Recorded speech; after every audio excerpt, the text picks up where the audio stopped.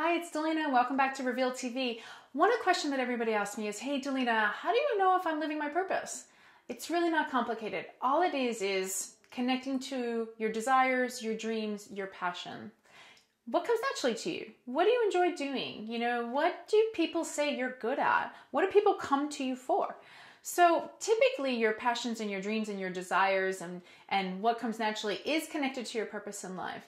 And so I encourage and inspire you to think about what that is and to start living it because most likely if you're unhappy and you're unfulfilled every day, then you're not living your purpose. And they say the wealthiest places on earth are the cemeteries because there's so much untapped potential there. There was books that weren't written, there were businesses that weren't started.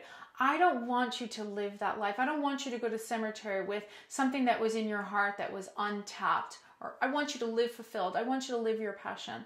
And so let's start thinking about, you know, what lights you up? What are you good at? If you're good at making people laugh, then that's part of your purpose, you know, whether it's on uh, on stage or not. But let's start thinking about what your natural God given talents are and connect that with something that you do every single day to live your purpose.